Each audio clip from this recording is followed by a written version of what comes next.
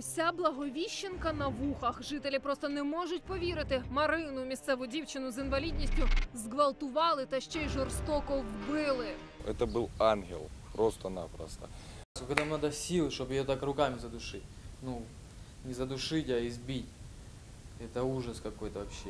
Марині було 19 років. Вона мала інвалідність першої групи з дитинства. Мати тримає їй паспорт, бо в ньому лише уявіть єдине її фото. Вона мала певні комплекси через здоров'я і не любила фотографуватися. В неї голові, головою. Крутила головою так, так, так. Гідроцефалія мозга. Півроку тому Марина вперше в житті закохалася. Вона працювала разом із Віталієм у місцевих теплицях, і там вони поступово зійшлися. Работали на огородах, э, в теплицях і прочее. До цього будинку Марина з Віталієм переїхали лише два тижні тому. Ось тут планували зробити кухню, а там спальню.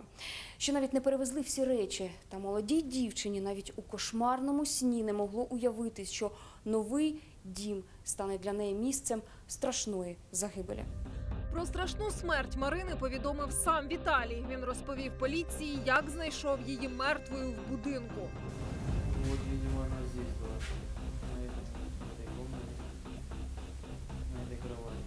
Жорстокість, з якою вбивали молоду дівчину, шокує. Кров буквально повсюди в кімнаті. А експертиза показала, Марині відбили кілька органів.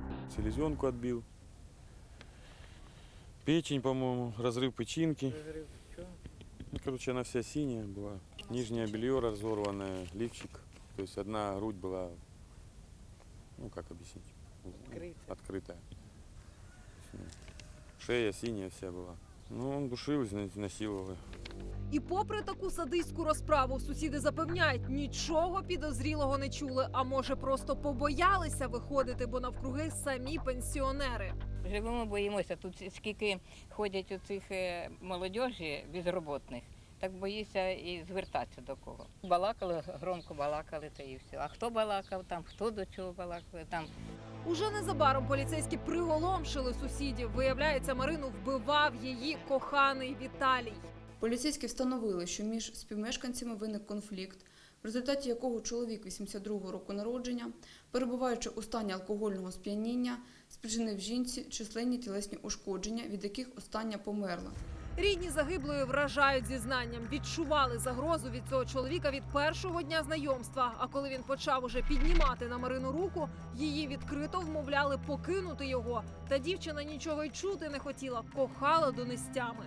Марина, кажу, зачем ти йдеш до його? Зачем? Все хорошо цим не кончиться. Ревнует, Рівнує сильно. ревновал. Віталій тепер затриманий. Він дає свідчення та намагається якось пояснити, за що так жорстоко познущався з тієї, яка його так кохала. Подумати про це він матиме вдосталь часу, бо світять чоловікові 15 років за ґратами.